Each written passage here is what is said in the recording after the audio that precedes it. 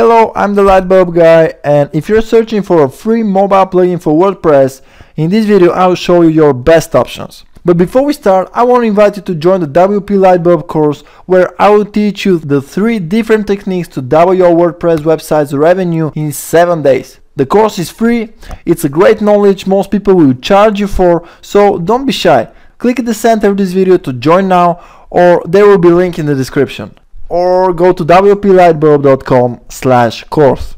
So, the most popular plugin for making your website mobile is WP Touch. And to be honest, I don't like it. It's very limited and they're trying to sell you the pro version everywhere. But let's take a look. This is how the website looks on a desktop and here I'm checking the website that I'm visiting from a Sony Z1 device. So this is the WP Touch mobile version. It's looking good, but let's see what we can customize. In the course settings, you can select different page to be the home page for your mobile visitors. When you go to themes, you see that you have only one theme and if you want another one, you have to purchase the pro version. In theme settings, you can choose how many posts can be listed and also exclude certain categories or tags. You can customize the look of the posts a little bit. You can enable or disable the login option for your mobile visitors and configure the featured slider. You can enable or disable it, make it slide automatically, and you can choose what posts or pages to be slided. You can select specific ones or select a category, tag or post type. Then in the branding tab, you can edit the colors of the theme. It's kind of nice they allow you to do this for free since they are trying to charge you for everything. Uh, here also you can upload a logo and add a custom HTML code for the footer. You can choose from 8 different typography options, enable or disable the sharing buttons. You can also add some social links in the footer, but for other you have to purchase the pro version. In the bookmark icons tab, you can add icons for Android or iPhone, but you can't customize the icon title. Again, you have to purchase the Pro version. Then in the web app mode and advertising tabs, all features are only for Pro members. So you can't run ads with the free version of WP Touch.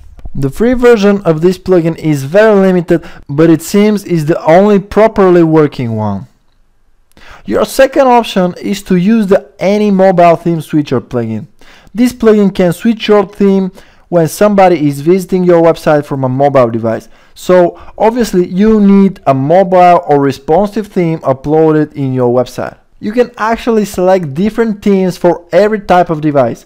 iOS devices, Android devices, Blackberries, etc. The third option for you is to create a separated mobile website and redirect the mobile traffic with the simple mobile URL redirect plugin. Just install the plugin and go to settings, mobile redirect.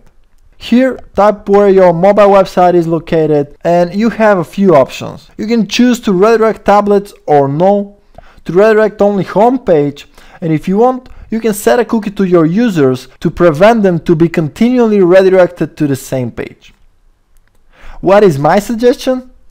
Install a good responsive theme and don't worry about this anymore. There are a lot of free responsive themes available and some of them are really great. However, if the situation is complicated for any reason, you have these options.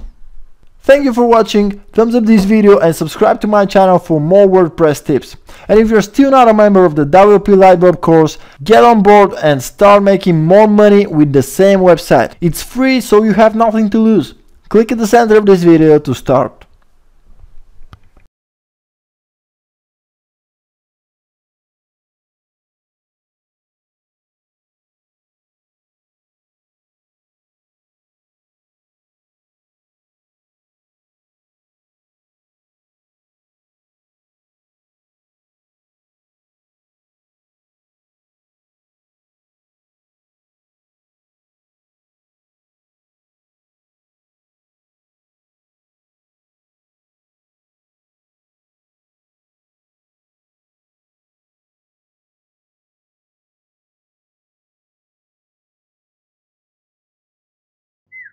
You